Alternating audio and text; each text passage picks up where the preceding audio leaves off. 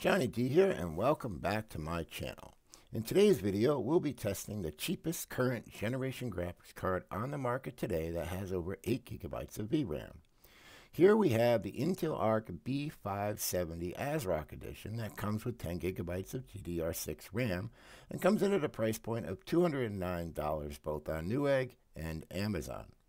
Now at this price point, it makes it a very interesting card for an option for budget gaming. In today's video, we'll be pairing this graphics card with a system that I think you would actually use this card with and testing it in some popular games. For the test system, we have a Ryzen 5 7500F with 32 gigabytes of DDR5 RAM, 750 watt power supply, all housed in this beautiful NZXT H3 Flow case.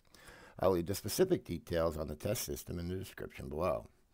Now, for the first game we have is Where Winds Meet, which is currently the ninth most played game on Steam.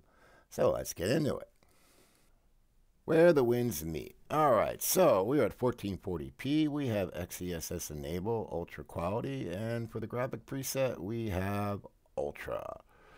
So let's see where we are. Now here we are, we're outside the town, and currently we're getting an average of 76 FPS and a 1% low of 67.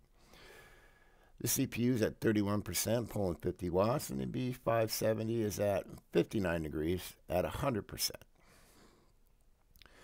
So as we make our way through the town, we can see that the frame rate dropped. We're around 70 FPS uh, frame average, 1% lows down to 55. But the game does look good. I'm starting to like the art style. The more and more I play the game, the more and more I like it. So as we make our way through the crowd, we are at 67 FPS with an average of 68. 1% lows are around 55. The frame time graph looks alright, a little spiky, but that's to be expected at this higher resolution. Yeah, looking really good. So what I'm thinking, let's see what we get when we drop this down to quality settings. All right, so we're going to drop this down to quality XeSS, and we're going to drop this to graphics quality quality. And we're back outside the town again, and we're getting about 100 frames per second with a 1% low of 85. So yeah, we did gain some FPS. Doesn't look like we lost any visuals. The game still looks pretty good, very colorful.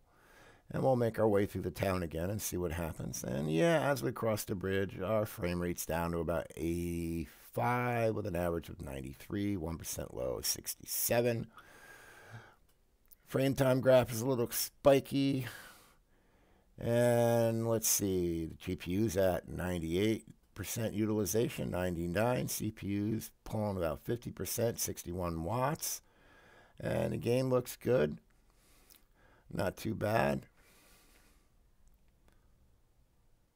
So what do we wind up with here? So uh, 1080p quality, XeSS set the quality. We had 108 frames per second with a 1% low of 68.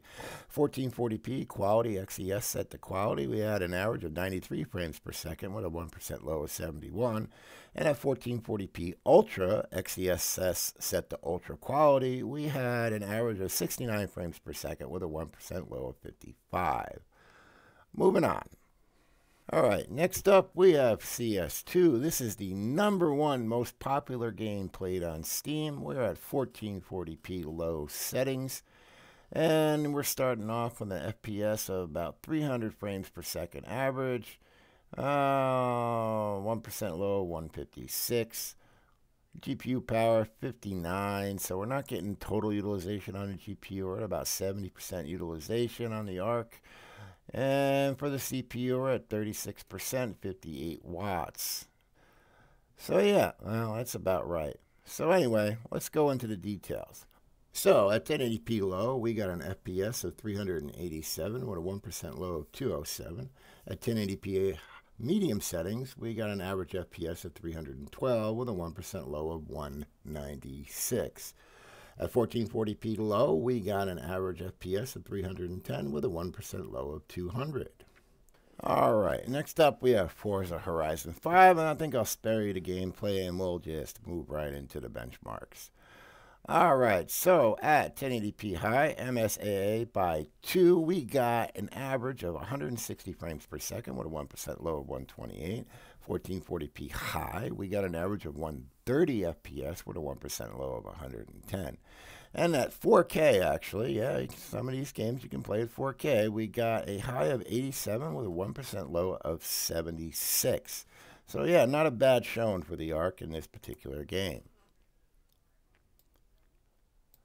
Moving on, we have Rainbow Six Siege. This is the CAN benchmark. And what did we get? We got at 1080p low preset, we got an average of 373 frames per second with a 1% low of 298. At 1440p low preset, we got an average FPS of 268 frames per second with a 1% low of 226. So yeah, not bad. Plenty of FPS here for Rainbow Six Siege.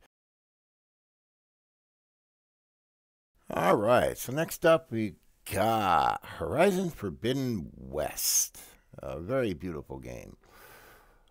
All right, so what do we get? So at 1080p high, XeSS set the quality. We got an average FPS of 124 frames per second with a 1% low of 96. At 1440p high, XeSS set the quality. We got an average of 94 frames per second with a 1% low of 81. So pretty good showing here. It did a nice job. Next up, we have our favorite Cyberpunk 2077. So at 1080p high preset, we got an FPS of 124 with a 1% low of 96. At 1440p high preset, we got an average FPS of 94 with a 1% low of 81. Yeah, I mean, the ARC cards do well on Cyberpunk, there's no doubt about it. So moving on. Next up, we have Marvel Rivals. So, in Marvel Rivals at 1080p medium XeSS set to quality, we got an average FPS of 161 with a 1% low of 125. At 1440p medium XeSS set to quality, we got an average FPS of 118 with a 1% low of 95. So, yeah, ARC has come a long way. I think they've done a great job with their drivers. I mean, for you know, $209, uh, you can play just about any game at 1080p. So I think it's time to move on to the conclusion. Now for the conclusion. At the time of this video, December 6, 2025, the ARC B570 is currently the cheapest current generation card available with maybe the NVIDIA RTX 5050 coming in a close second. Now for the price point, the card performed well, played every game we threw at it, and I really have no complaints about the card's performance. After all, it is a budget-friendly entry-level card. What I would like to see from Intel is an improvement in their software suite. And what I mean is screen capture software would be a nice addition. So tell me what you think. Would you buy the ARC B570 or opt to purchase the RTX 5050 for a little more money? Or maybe go used? Let me know in the comments below. My name is Johnny, and if you get value out of this video, give it a like or maybe subscribe if you haven't already. Or better yet, stick around for the next video. With that said, you'll have a great day, and thanks for watching. Bye now.